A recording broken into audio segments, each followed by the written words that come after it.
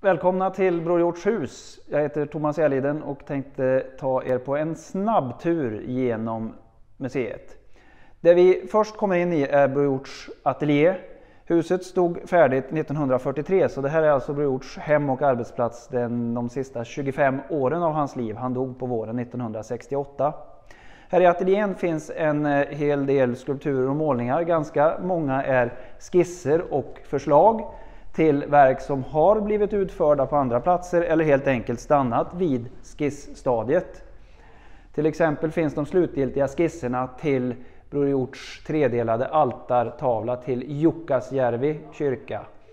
Och eh, i kyrkan är de skurna träreliefer, här i ateljén är det de slutgiltiga oljemålningsskisserna som finns. Går vi vidare så kommer vi in mot eh, en gallerigång som förbinder ateljén med vardagsrummet, förbinder arbetet med vardagslivet. Det är eh, förhållandevis få åthävor som har gjorts för att eh, det skulle kunna bli ett museum som Bror önskade. När han dog 1968 så fanns tanken på att tänk om man kunde visa hemmet och ateljén i museiform.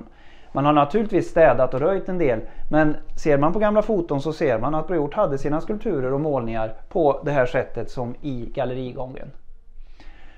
Och då går vi in i vardagsrummet och eh, här fortsätter skulpturer och målningar och eh, även här inne finns det en del skisser till eh, verk som har kommit till utförande. Till exempel skissen till altartavlan i Salabacke kyrkan här i Uppsala högaktuell i påsktider. Här är Jesu intåg i Jerusalem.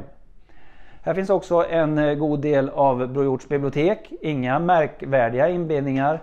Men eh, Bror Hjort drabbades av tuberkulos i ungdomen och när han så småningom blev starkare och tillfrisknade men ordinerades vila så läste han oerhört mycket och blev en beläst och bildad person. Vidare finns här eh, några bilder från eh, 20-talet när Bror var i Paris. Det är familjebilder och en eh, bild som avbildar föräldrahemmet i Dalboda utanför Björklinge. Nu har vi coronatider och eh, det här är vårt sätt att försöka visa hur museet och konsten ser ut. Så håll utkik på Facebook och Instagram. Där återkommer vi med kortare visningar av enskilda verk eller händelser som vi vill berätta om just för stunden. Och eh, med det så önskar jag er en trevlig eftermiddag.